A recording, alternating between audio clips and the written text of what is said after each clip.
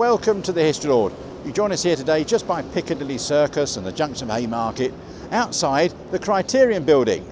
Now, the Criterion Building started its life as a coaching inn called the White Bear and in 1873 it was two men called Spiers and Pond who were caterers who opened up a hotel on this site. They also opened up uh, the Criterion Restaurant and the Criterion Theatre. Now, the Criterion Theatre being underground took three attempts for it to get permission to open. And it's now there underground and it's 588 seats uh, as a venue. But we're here to see the sculptures today, and sadly, one of them's in the cage at the moment uh, because it does have a fountain there, and uh, they're frightened of people falling in it, especially around here when they've had a few too, too many vino collapsos. And uh, we're also going to look at a sculpture which is right up there. So I think we need to go uh, up in the gods to look at the gods, don't you?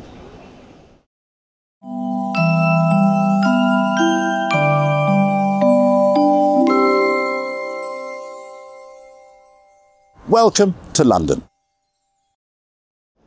So as promised, we've moved up into the gods so we can have a look at these sculptures. Now the ones at ground level that are now fenced in because of the uh, fountain and people falling into it uh, are called the four bronze horses of Helios or the four horses of Helios and the ones up above are the three daughters of Helios and they are the creation of an artist called Rudi Weller.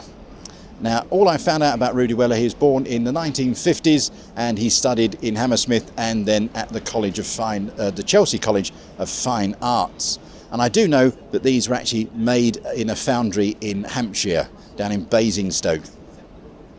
The actual uh, horses down the bottom are bronze. Uh, the pair of horses weigh around about four tons, and the two individuals weigh about a ton and a half each. And uh, as I say, it has a fountain there that's now been uh, switched off and uh, it's now got a fence around it to stop people falling in.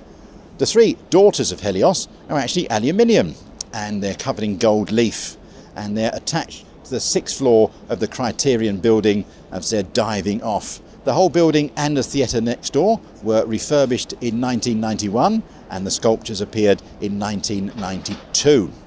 As I've always said, when you're walking around London, don't just look down, don't just look at eye level, always look up as well, because you might get little treats like the three daughters of Helios.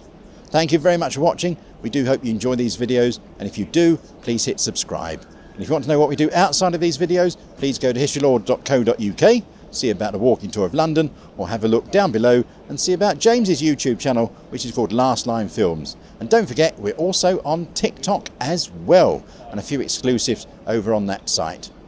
Take care of yourself. Oh, let's enjoy the sunshine. Cheers.